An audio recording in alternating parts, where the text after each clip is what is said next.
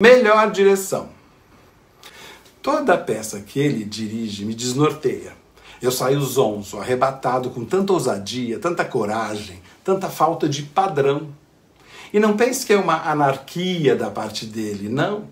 É o rigor a serviço da liberdade. Sempre com música, sempre com muita força nas artes plásticas. Casamentos interdisciplinares. Nonsense programado e por tudo isso, ele virou meu ídolo. E eu não tenho pudores de dizer isso aqui em público, por eu ser um crítico.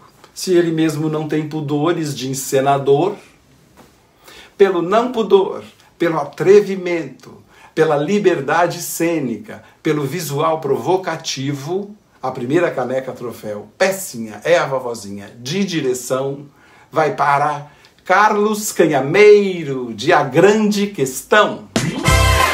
Olá, eu sou o Carlos Canhameiro. Eu vou falar aqui com o Dib, com vocês, do porquê que eu resolvi, ou do porquê que eu gosto. Sou apaixonado por fazer teatro para crianças, principalmente com a Cia Defeitos, onde a gente está trabalhando juntos já tem 14 anos. Fazer teatro para crianças, eu acho que o maior barato é poder mostrar o teatro para elas como linguagem. Eu não tenho o menor interesse em fazer peça com moral eu não tenho o menor interesse em dar uma lição para as crianças, eu não tenho o menor interesse de ensinar para as crianças por que, o capitalismo é mal, por que, que escovar os dentes é importante depois do almoço ou antes de dormir. Meu interesse é mostrar a linguagem teatral como uma potência para a imaginação. Então, o que a Cia Defeitos tem buscado, e eu como diretor, quando faço uma peça para crianças tenho buscado, é fazer um teatro que possa ser utópico, que possa ir além daquilo que a gente consegue entender como linguagem. E para as crianças que estão chegando nesse mundo, eu não vejo nada mais rico do que tratá-las não como um saco vazio, como diria Montaigne, mas sim como um universo de possibilidades. É a minha fé em fazer teatro para crianças. Um beijo. Estão vendo por que, é que eu gosto desse cara? Esse é o meu garoto, por um teatro utópico. É a minha fé também.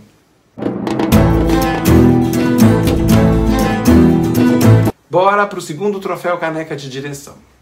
Vai para uma dupla. Que trabalho em perfeita sincronia. E pela primeira vez, saí do teatro feliz de ver como cada cena foi bem pensada, bem arquitetada por eles. Nada é de mau gosto, nada é exagerado. Cada passo, cada gesto dos atores a serviço da história bem contada.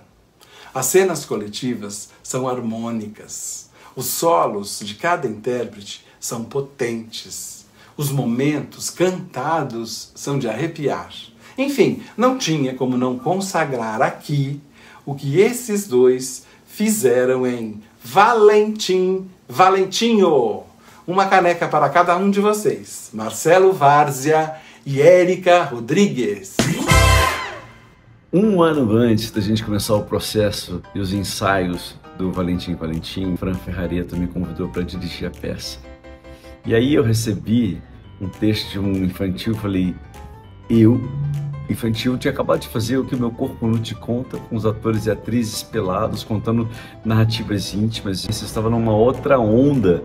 E aí eu falei, eu nunca dirigi um infantil, fiz poucos infantis, vi infantis maravilhosos mas não é muito minha praia. Aí eu fiquei inseguro e a Érica Rodrigues, que dirigiu junto comigo, ela trabalha comigo há muito tempo fazendo, toda vez que eu dirijo, ela faz direção de movimento, mas ela tinha dirigido um espetáculo chamado Anjos, da Naldi Ícaros, que era um espetáculo lindíssimo. Eu falei, Fran, posso dirigir com a Érica? A gente dividir essa direção? E ela falou, claro. E aí eu queria agradecer a Fran pelo convite e insistência, a Érica pela parceria maravilhosa, como sempre, há mais de 30 anos, ao elenco maravilhoso, a equipe técnica incrível que teve com a gente, a equipe criativa, é, os operadores, pessoal da produção e ao Sesc, né? Que durante muito tempo, especialmente naquele último governo horroroso agiu como o nosso Ministério da Cultura, possibilitando que a gente voasse. É uma maravilha fazer teatro infantil. É uma maravilha conversar com o público, porque criança gosta de brincadeira. Criança entra no jogo. e é esperta com o que está sendo feito de verdade ali, em quem não está subestimando a sua inteligência. E a possibilidade de jogar é muito grande, então a gente resolveu fazer um palco nu, cru, branco, para que essas pessoas pudessem embarcar na imaginação com a gente. Bom, falar de Valentim Valentinho para mim é falar de um grande presente. Em primeiro lugar, porque eu pude dividir a direção com Marcelo Várzea, que me fez esse convite, com quem eu já tinha realizado vários trabalhos. O Várzea é um grande amigo, um grande companheiro de trabalho, mas a gente nunca havia realizado uma direção juntos e ver né, essa direção tomando essa proporção, chegando nas pessoas como chegou, como, como resultado dessa encenação, me deixou extremamente feliz. Né?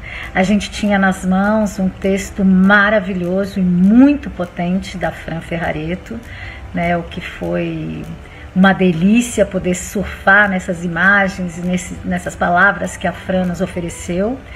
E tinha também em mãos atores maravilhosos que nos deram todas as possibilidades para que a gente pudesse juntos ir descobrindo e tecendo aí Valentim, Valentim.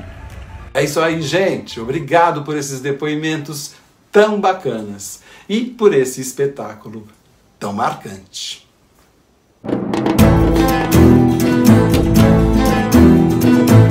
Terceira e última caneca de direção. É dele, o homem da tribo, o ator, cenógrafo e bonequeiro com total senso de direção.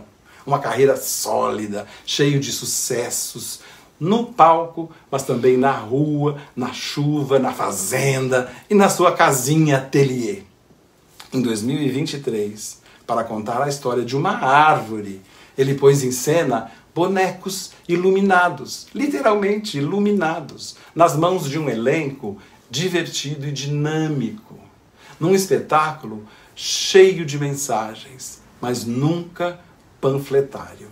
Um acerto que mescla a manutenção das tradições populares com a luta pela preservação da Amazônia e a valorização dos povos originários e sabe um cara batuta? É ele, um profissional que eu desconfio ser admirado unanimemente pela classe. Porque sempre eu ouço só comentários carinhosos sobre o seu jeito de ser e de trabalhar. É tão bom ter esses mestres de energia boa em torno de nós, não é? Pela direção de Samaúma, Árvore Mãe, a caneca troféu, pecinha é a vovozinha, vai para Vanderlei Pira. Oi, eu sou o Vanderlei Pira, diretor do espetáculo Samaúma Árvore Mãe e também cenógrafo, junto com o Dino Soto e o Thiago Melo Paiva. Para fazer a encenação do espetáculo de Samaúma, eu tinha uma grande provocação e também um grande estímulo, que era trabalhar com profissionais incríveis que abraçaram o projeto como se todos nós abraçássemos uma, uma grande árvore. Então eu acabei me transformando numa espécie de um alquimista. Eu peguei todas essas potências artísticas e fui amalgamando para trazer forma e poesia. E também sem deixar de comunicar a perversidade que acontece com nossas florestas e com os povos originários. E também contar uma história, uma história de uma árvore, a maior árvore do Brasil, a Samaúma. Foi um, um privilégio dirigir esse espetáculo e eu tenho muito o que agradecer a toda a equipe. Muito obrigado. Foi um privilégio também assistir, senhor alquimista. Muito obrigado.